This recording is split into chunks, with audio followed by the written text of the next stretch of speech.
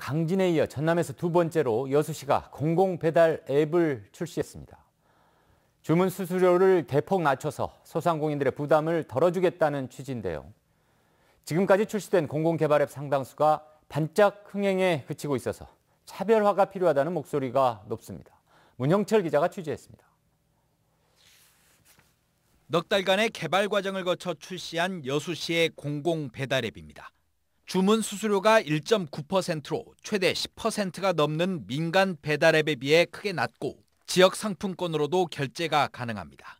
소상공인과 이용자 모두 만족할 만한 요인을 갖췄지만 기대만큼 활성화될 수 있을지는 미지수입니다.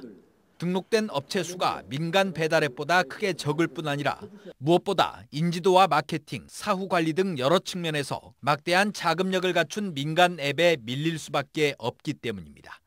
실제로 지금까지 출시된 공공 배달 앱 상당수가 초반 반짝 흥행에 그치고 있고 코로나19로 인한 배달 특수 속에서도 이용객이 오히려 줄어든 경우도 적지 않습니다. 실제적인 주문 건수 이런 거는 아직까지 미비한 것 같아요. 민간 배달에 비해서 부족한 부분은 그런 여러 가지 좀 고민을 했습니다. 여수시는 공공 배달앱 활성화를 위해 가맹점 수를 늘리고 별도의 사업비를 지원해 할인 이벤트 등을 진행할 예정입니다. 하지만 계속해서 지자체 예산을 투입할 수는 없는 데다 효율성이 떨어진다는 지적이 적지 않습니다. 이 때문에 공공 배달앱 출시를 검토했다 백지화하는 지자체도 늘고 있습니다.